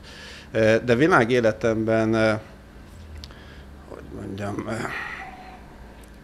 valami újat akartam, tehát erre mondják az entrepreneurship, vagy nem is tudom, hogy kitalálni előre valamit, tehát hogy mindig valami mozgatott. Ugye fizikusként végeztem, akkor ugye rendszerváltás időszaka volt, ugye 87-ben végeztem én, várt még rám egy fél év katonasság, ugye, de és 89-ben már itt volt a rendszerváltás. Tehát nagyon kevés ideig voltam kvázi, mint fizikus, E, és akkor is már a, a, a kísérleti fizika része, nem az elmélet, a kísérleti. Tehát egyből én elmentem a Posta Kísérleti Intézetbe, és ott fényvezető kábeleknek a, a, a jövőjét alapoztuk meg a magyar távközlésben, egy olyan mini labor volt, ahol mi gyártottuk a, a szabványokat, hogy akkor hogyan lesz Magyarországon a, az, a, az opti, a, optikai dolog, és akkor ott kísérletezgettünk, meg műszerek voltak, de ez egy másfél év volt az életemben, mert mindjárt rám szakadt a rendszerváltás, és akkor ezt az egészet bevitt Tem, aztán bevittük együtt, ugye, ahogy bővült a cég, a számítástechnikába, az informatikába, és ugye ez a hőskora volt a magyar gazdaságnak, ugye ott, ott ha valamit jól csináltál, és próbáltuk jól csinálni, fiatalok voltunk, lelkesek voltunk, tanultunk, tehát ez a gazdasági képzés, és hogy az ember elvégez fizikusként, akkor hogy hogyan is működik a piacgazdaság, vagy mi van, hát azt, azt is meg kellett tanulni. Tehát ezért volt a képzés, és még Japánba is jártam, japán menedzsmentet tanultam, meg nem tudom én több mindent, érdekelt a dolog, és aztán egy nagyon intenzív fejlődés ment végben a cégben. Ugye a végén már, már négy országban voltunk jelen, ugye különböző lányvállalatokkal, már több mint 700 fő foglalkozott, de sokkal többet foglalkoztam a családdal, van egy kisebb birtok a birtokkal, természetközelévé váltam. Talán ez egy folyam, fontos dolog, hogy, hogy megértettem, hogy hogy működnek a mezőgazdaság vagy a természet. Ugye nem átállom tőlem, mert az édesapám agrármérnök volt, tehát én hmm. úgy nőttem fel, hogy vele jártam traktoron a határt, meg nem tudom én, tehát hogy nagyon közel voltam ilyen természethez, de aztán egy jó tíz évre ez a kapcsolat elment, mert ez egy nagyon intenzív üzleti periódus volt, amikor tényleg nem láttam a családomat, hát nekem úgy születtek meg a gyermekeim, hogy aztán este már ugye aludtak reggel, meg még aludtak, meg nem tudom én, hát a feleségemnek nagyon sokat köszönhetek, hogy, hogy folyamatosan egybe tartotta a családot. De aztán, amikor jött ez a szünet, kényszerszünet, ha úgy tetszik, az viszont tetszett, tehát az is tetszett, hogy, hogy otthon vagyunk egyedül, vagy, vagy együtt építünk egy, egy, egy saját birodalmat, ha úgy tetszik. Annak az összes pozitívumával azt tudni kell, hogy én nagyon mechanikus is vagyok, tehát szeretek mindent csinálni, szeretek mindent megtanulni villanyt szerelni, meg vízszerelni, vagy bármit a házba, ha kell betonozni, meg építeni, mindent. Tehát, hogy amatőr módon, mert nem a szakmám, de hogy magamnak megcsinálhatom, mert az az enyém. Nem vállalkozok rá, nem megyek el sehova senkinek, de magamnak megcsinálhatom. Múltkor találtam egy kombinált fogót az egyik mosógépbe, amit benne hagytam, tehát vannak ilyen, ilyen, ilyen bakik. Az tényleg amatőr. az elég amatőr, ugye? Várjatok már, emberekben operálás közben szike, meg nem tudom, mi marad Igen, benne. találtak, Má- más dolgok is, igen, igen. igen. Találtak. De minden esetre, um, hogy ez, hogy mi van a természetben, ez a mindennapjaimmal. Tehát a gyümölcsfák, magam metszem a gyümölcsfáimat, stb. Látom, hogy hogyan változik a környezet. És aztán egyszer, uh, talán 2017 tárnyékán, tehát egy jó öt éve, lehet már 16 is volt, megtalált egy régi kollega. Milyen, Eh, bocsánat? Egy ré, Régi. régi, régi kollega. Nem régen. nem régen, egy régebbi kollégám, aki már egy ideje a fenntarthatósággal foglalkozott, és akkor ö, beszélgettünk, találtunk sok közös ö, gondolatot, és akkor csináljuk, tehát járjuk körül ezt a témát. Na és akkor kezdtem belemerülni, tehát ő még fenntarthatóságról beszélt, én meg meg akartam érteni, és eljutottam a fenntarthatatlanságig. Hú. Tehát, hogy ö, ez az öt év, ez nekem ebben a tekintetben volt intenzív, hogy ö, persze itt ez nem jön ki egy ilyen műsorban, nem is kijönni ez az egész komplex kép, bár ez volt a célot, hogy valahogy feltárjuk, de azt mondom, hogy gyakorlatilag lehetetlen, de én magamnak meg akartam érteni, hogy mi mivel függ össze, hogyan, milyen, és nyilván nem lehet száz százalékig, mert ezt is tudom, de olyan szinten ma már megnyugtatónak érzem, hogy saját döntéseket merek rá alapozni. Uh-huh. De ezek a döntések az enyém, nem mások életébe akarok bele. És aztán most eljött az, hogy, hogy igen, ebből csinálunk vállalkozást is, de annak az a része, hogy, hogy vértezzük fel az embereket a, a, a tudásnak olyan fokával, amivel föl lehet. Tehát, hogy amit anélkül, hogy még hitté válna, vagy hit, nem hitet kell átvenni tényeket. Uh-huh. Ugye információkat akarunk átadni emészthető módon. Mert én, mint fizikusként végzett, bár nem sokat gyakoroltam, azért neki merek állni elolvasni egy tudományos publikációt, ami tele van azért igazán szép csicsás jelekkel, ami érteni kell, hogy mi az, meg jó hosszú, meg tele van referenciákkal, és akkor mehetsz egyikről Igen. a másikra, meg stb. Tehát nem egyszerű a tudományos ö, ö, világban így mozogni, de mondjuk meg, meg tudtam tenni, mert volt ahhoz hogy annyi hátterem az egyetemről, hogy, hogy legalább felfogom, hogy mi van benne, tudom, hogy hol keressek, és össze tudtam rakni magamnak egy világképet Hm. ebből az egészből, de ez sok idő volt. Most meg azt gondolom, hogy hogy nem tehetem meg, vagy nem szabad megtenni, nem megpróbálni átadni. Hogyha már ezt a És- tudást felvetted, akkor Igen, ez... ugye említetted a rákos példát. Ugye sokáig az volt például a, a kötelező orvosi protokoll, hogy nem szabad elmondani a betegnek, mert az a gyógyulását veszélyezteti. Ma az a protokoll, hogy köteles elmondani akkor is, ha az ártalmas a gyógyulására, mert a felelősséget nem veheti el mások elől. Tehát a, a beteg elől. A beteg felelősség, hogy kezdjen valamit a saját problémája, mert az ő problémája. Ahhoz meg kell ismernie, hogy mi a problémája, el kell neki mondani. És pe- persze ez is egy fontos felelősség, meg az is, hogy akkor vidd tovább, hogy akkor milyen opcióid vannak, lehetőségeid vannak, stb. Tehát elsősorban most ezt akarjuk, ez nyilván ez egy nagy vállalkozás, ti is ebben ugye valamilyen szinten itt vagytok, hogy megpróbáljátok átadni, amit már ti felismertetek, meg nagyon sok podcast van, meg sokféle, sok mindenki próbál ebben lenni, de teljes képet azért nehéz összerakni, átadni.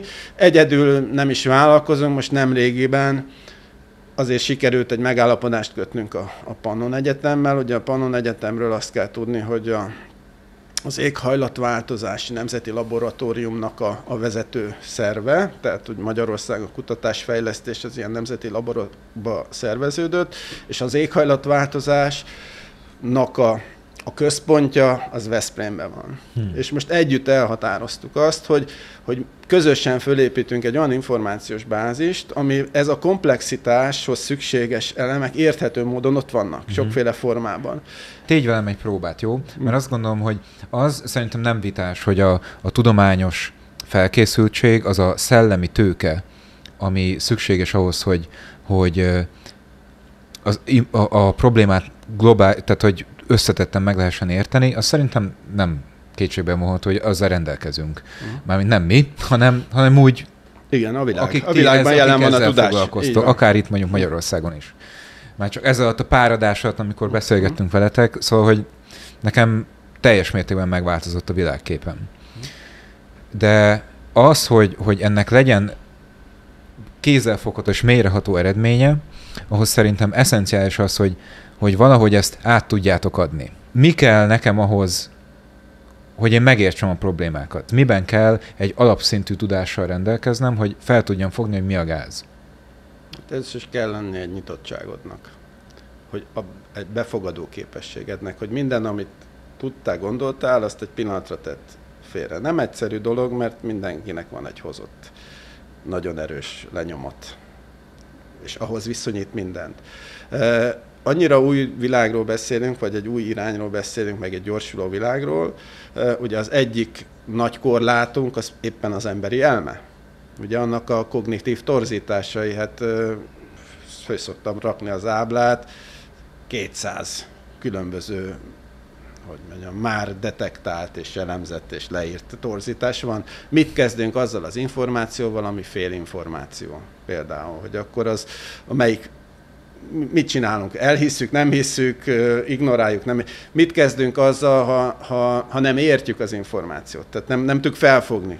Vagy azért, mert gyorsan beszél valaki, vagy azért, mert idegen nyelven beszél, mert a tudomány nyelvén beszél, vagy valami bevalljuk-e magunknak, vagy nem, vagy egyszerűen csak van egy ilyen gyors transformáció, ugye lefordítod magadnak, Igen. de teljesen rosszul adott esetben. Uh-huh. Tehát, hogy először el kéne dobni mindent. Nem egyszerű, mert hát hogy dobod el azt, aki vagy? Nem tudod. De, de ugye ez, ez, ez már egy erőfeszítés, hogy, hogy minden információt megpróbálj megérteni olyan szinten. Amin meg tudod, tehát nekünk meg az a feladatunk, vagy egy ilyen információs portál, olyan szinten adjuk át, most ne, ne érts negatívan a negatív szinten, hanem egy átlag ember szintjén, igen, hogy ezek igen. Úgy, úgy lejöjjenek. E, és meg kell, tehát a komplexitást kell nagyon érteni, és azt el kell fogadni, hogy spektrum van, tehát forgatókönyvek vannak, hogy nem, nem, nem meg kell értened, hogy mi lesz, mert azt nem lehet tudni, hogy mi lesz. Hogy elkezdjél gondolkodni ebben a dologban, hogy itt különböző lehetőségek vannak, hogy azokat értékelned kell, és az a neked kezdedi valód van, neked. Aha. És az a te felelősséged a saját szempontodból. Aha. De akkor ez például statisztika és valószínűség számítás, nem? Például igen, ilyen, valamilyen szinten igen. Hát, hogy technikailag Nyilván... Meg tudjuk határozni, hogy mi, milyen, tényleg milyen skillek szükségesek ahhoz, mert, mert most tehát én értem, amit mondasz, mm. de hogy, hogy tényleg technikailag mik azok a skillek, amik kellenek ahhoz, hogy az ember egy viszonylag reális, legalább tudod, egy spektrumot meg mm. tudjon látni. Nem elég csak olvasni tudni? Nem. Hát... Uh... Honnan tudod? Nem tudom, de az igazság erre nem tudok jó választ adni, mert, hmm. mert ilyen, erről nincsen statisztika, hogy már megértették ezren, és akkor ebből száz így értette meg, másik száz meg úgy, és akkor ez a közös. Tehát, hogy ennek nincs ilyen értelemben de, tudományosan igen. Ö, felvett mintája ez, elemzése. Igaz, igaz. Tehát Viszont nem tudok rá. Te azt például tudod tudósként, hogy, hogy milyen, milyen tudomány ágak szükségesek ahhoz, hogy mondjuk a klímaváltozás problémáját az ember tényleg meg tudja hát, érteni. Ugye amikor a Snowról, a Charles Percy Snowról beszéltem, meg erről a kettős nyelvről, ugye ez is a, a hogy kettős társadalomban élünk, kétféle kommunikáció van, a tudománynak egy világa, a természettudománynak, amit csak azok értenek a természettudósok, és akkor van a, a minden más, a, a mindennapjaink, a társadalomtudományok, amik ugye azok is vannak, de csak emberekkel foglalkoznak. Na, a, társ, a természettudomány az nagyon fontos, amikor a természetről beszélünk. És ugye a természetről kell beszélnünk. Tehát azt mondom, hogy ez a fajta nem, nem meg kell tanulnod, meg kell értened, el kell fogadnod, hogy nem vagy független a természettől. Te is, te is természet vagy, a természet része vagy, hát egy biológiai matéria vagy, anyagból épülsz fel. Az, hogy te egyáltalán létezel, az egy anyagcserének közö, köszönhető, egy, egy, egy iszonyatosan finomra hangolt természeti folyamat, sokféle az ionháztartásod, a hőháztartásod, a vízháztartásod, Igen. stb. Ezek, ezek olyan sejtszintű kémiai, fizikai, nem tudom, mindenfajta folyamatok. Meg amikor a... apa meg anya anyagot cserél, nem? Például az, az, az is, az, az is anyagcserél, és energiába torkolik. Befektetés. befektetés a jövőbe. Igen. Szóval, hogy a, a természettudományokkal kapcsolatban kicsit nyitottnak kell lenned, és ez na, mondjuk általán azt azért elmondhatjuk, hogy a, ha úgy szét kéne szedni a, a, az osztályokat, akár az általános középiskai szinten, hogy akkor a, ki, kinek volt a favoritja a matek, fizika, kémia, és aki szerette a testnevelést, az énekzenét, és nem tudom, hogy többet. Tehát, hogy igen, kevéssé népszerűek ezek. És ha aki még tudta is, de aztán nem, nem lett ez a munkája, az kikopik. Tehát, hogy fel kell frissíteni.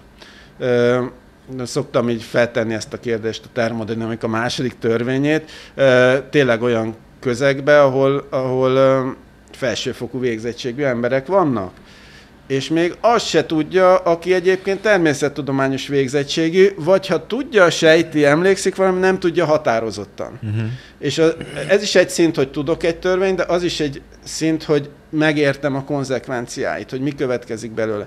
Ez olyan, hogy a termodinamika a második törvény azért tartom nagyon fontosnak, mert az ilyen értelme nagyon egyszerű. Ha felfogod, hogy minden a rendezetlenség irányába megy, az emberiség meg rendet akar teremteni, és ez csak külső energiából lehetséges, de annak is a következménye rendezetlenség valahol. Tehát, hogy, hogy tehát ez, ez képzeld ezt a képet, hogy, hogy itt vagyunk a Földön, mert ez a mi világunk, valahol rendet akarunk, ugye a Dittik Ernő is azt mondta, hogy akkor legyenek ott, nem tudom, mi agglomerációk, agglomerációk igen. ott van a rend, és akkor ott van a természet. Igen, ám csak, hogy a rendet föntartsuk, valahol rendetlenségnek kell keletkeznie. Per definíció. És ha itt rendet építünk, akkor a rendezetlenség az csak ott lehet. Uh-huh. A természetben. Igen ám, de nem tudjuk ketté választani a kettőt, hogy mi élünk itt a rendben, azt a természettel lesz, ami lesz, mert részei vagyunk, mert onnan jön az oxigén, a víz, a klíma, a, a, az állatvilág. Hát mondtad, hogy elbírna még az emberiség, vagy a Föld hány Igen. millió, milliárd embert. Aha, hogy van az, hogy a, a, mondjuk az emlős biomasszának ma már a 96%-a az ember, ember, vagy az ember által ugye nevel tartott állat? Miért nincs akkor emellett a biomassa, az emberi biomassa mellett még ugyanekkora vadbiomassa? És az ember a bizonytalanságot sem szereti? Hát különösen nem. Tehát ez egy nagy lépés egyébként. És épp ezért elfogad. szeretném kérdezni tőled, hogy akkor, hogyha föltesz, eljutsz odáig, hogy oké, okay, itt tartok, fölteszek kérdéseket, nem teszem föl magamnak azt a kérdést, esetleg te föltetted de magadnak, hogy akkor mi a francnak élünk? Ne legyünk-e öngyilkosok? És visz nélkül kérdezem. Hát ez, Tehát én, nem, ember... én, nem, én nem tettem ezt föl ezt a kérdést, nekem már föltették ugyanúgy, hogy te tetted, hogy és mit lehet ezzel kezdeni. Én ugye tehát e- ez a téma ott van, ugye akár a deep adaptation, meg nem, hogy mit kezdjünk ezzel lelkine, meg hogyan dolgozunk. Nyilván alkat kérdése is, hogy ki, ki hogyan tud feldolgozni problémákat. Én azt gondolom, hogy az embereket alapvetően két, két a gondolkodásnak két, két rétege szokta nagyon mélyre lehúzni. Az egyik az a múlt ha akkor, ha akkor nem így lett volna, ugye, ha az másik alakult Igen, volna. Szeretjük még így nyomogatni. Igen, akkor most mennyivel másabb lenne, ugye, és ezen rugózol, hogy és akkor ez milyen igazságtalan volt ekkor, vagy akkor, vagy ez én, én nem rugózok a saját múltamon. Felhoztad, nem, mindegy, ami, itt vagyok, ma van. De ennél fontosabb talán, amivel ugye szintén húzza az embereket, az a jövő. Hmm. Ugye, hogy akkor, és mi lesz, és ha ez lesz, vagy az lesz, ha így lesz, vagy úgy lesz, és akkor, és elkezded lejátszani. Tehát az a baj, hogy lejátszod a jövőt. Ugye van ez a klasszikus, hogy akkor elromlott a kávédaráló, megyek a szomszédhoz, de útközben, és mi lesz, ha nem ad? És mi lesz, ha azt mondja, hogy nem adom, és én azt mondom neki, hogy de szemét vagy, és akkor elkezdünk vitatkozni, és akkor izé, még bunyó lesz a végén. és, és oda és bekapolsz, kinyitja az ajtót, és tudod, mit csesz, meg a kávédarálódat, és, ez, és ez megáll, hogy mi van. Tehát, hogy túlságosan is lejátszuk a, a jövőt, és fogadjuk el, hogy nem tudjuk, hogy mi lesz a jövő. Oké? Okay? Tehát, hogy élj a mában. Ilyen érte. Nem, nem élj a mának, uh-huh. éj a uh-huh. mában. Igen. Tehát, hogy mit tudok tenni ma, Igen. hogyan tudom a mai napot ezekkel, ezzel a tudással, ezzel a jövőbeli bizonytalansággal, hogyan tudom optimálisan eltölteni. És itt, itt jön a te felelősséged, hogy akkor mik a szempontjaid, mik a motivációid, azok egyeznek-e a környezetedével, olyan közösségben vagy -e, akik közös platformon vagytok, és közösen élitek meg a mát, és nem egymásnak jöttem, miért így, te meg miért úgy, meg nem tudom én. Tehát, hogy nagyon sokféle aspektusa van, de én nem lennék öngyilkos, mert nem tudom, hogy kell-e. Tehát az biztos, már olyan értelemben, hogy biztos, hogy meg fogok halni. Hát, Igen. Tehát, hogy ezt lehet, hogy még a csecsemőm, nekem most született a harmadik unokám, Gratulál. tehát, hogy köszönöm szépen, hogy ő még nem tart itt, de azért viszonylag gyorsan eljutnak a gyerekek is, hogy elkezdik látni a halált, és akkor úgy, úgy az úgy bejön. Megszülettünk, meg egyszer meghalunk. De a kettő között élünk, tehát ma még nem haltunk meg. És holnap, reméljük holnap se fogunk, de nem tudhatjuk, ugye? Hát éljük meg a mát, éljük meg a holnapot hogy mi foglalkoztat, az a tiéd. Te döntésed, te érdeklődésed. Most én, én itt járok, én, engem ezt foglalkoztat, én ezzel nem valami hatalmas küldetéstudatból, tehát hogy félreértesnesség, magam érdekelte, hogy ezt kibontsam magamnak ilyen szinten, hogy tényleg mi van, most tényleg, tényleg összeomlik a világ, vagy nem omlik össze, mikor, meg hogy, meg stb. És mondom, nem, nem is tudom átadni, egy órába, két órába, hogy, hogy, hogy mit raktam össze, mert, mert komplex a dolog, de foglalkoztat. Nem foglalkoztat másokat, meg az embereket a napi problémáik jobban foglalkoztatják.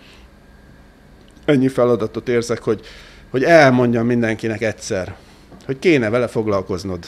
Aztán nem, nem.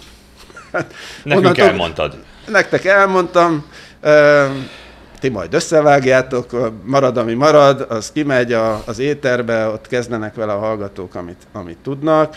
Nyilván, aki elkezd ezzel foglalkozni, az aztán nagyon gyorsan megtalálja ezt a buborékot is, ugye, ahol ezzel komolyabban lehet foglalkozni. Most nem minden, nem minden buborék rossz buborék, azért tisztázzuk, de minden buborék valamilyen szempontból buborék. Tehát, hogy a nyitottság, ezért mondtam, hogy oké, okay, egy téma érdekel, ezt feldolgozod, eljutsz valameddig, mindig tedd oda, hogy ez azért csak egy szelette a lehetséges Igen. jövőnek, nem a teljes kép. Mert a teljes kép nem megismerhető pont.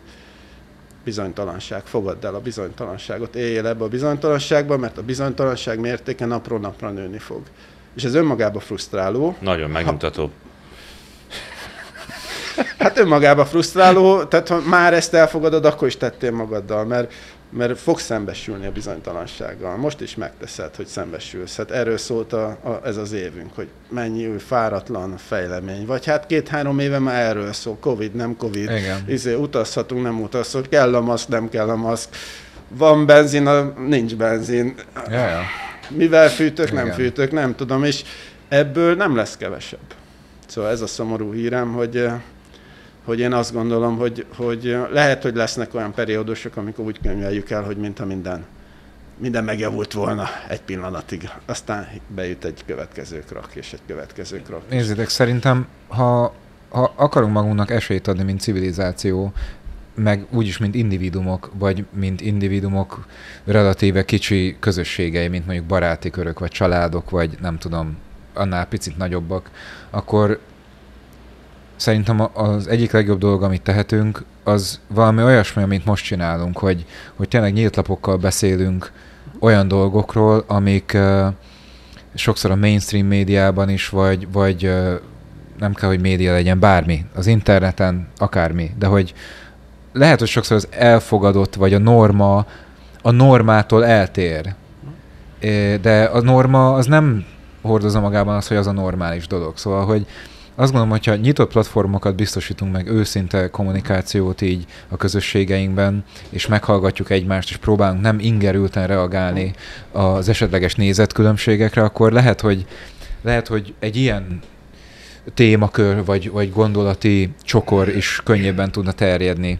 És azt gondolom, hogyha ez könnyebben tudna terjedni, akkor valószínűleg a társadalmi feszültség is csökkenne. Mert attól függetlenül, hogy nem beszélünk róla, mindenki érzi, hogy szar van a palacsintában. Úgyhogy én azt gondolom, hogy ezekről beszélni kell, és hogyha kell kérdezni, ha kell, akkor mondani olyan eszközökkel, amilyenkel lehet. Talán, tehát az biztos, hogy amit nem próbálunk meg, az tuti, hogy nem fog sikerülni. Ez biztos. Ez biztos. Szerintem. Elég lesz másfél százalék, vagy százalék megint?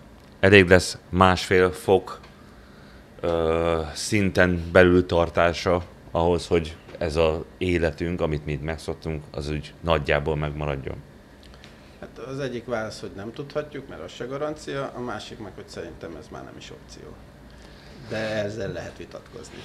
Ez egy jó zárás. Nem? Zsolt, nagyon jó volt, hogy itt voltál. Köszönjük okay. szépen az idődet. Én is köszönöm Zsolt, köszönöm szépen, hogy itt jártál. Nektek Szerint. minden jót kívánunk, és hát amíg még tudjuk, és még annál tovább is szeressük és tiszteljük egymást, segítsünk egymásnak. Legyetek jók! Sziasztok! Sziasztok! Sziasztok!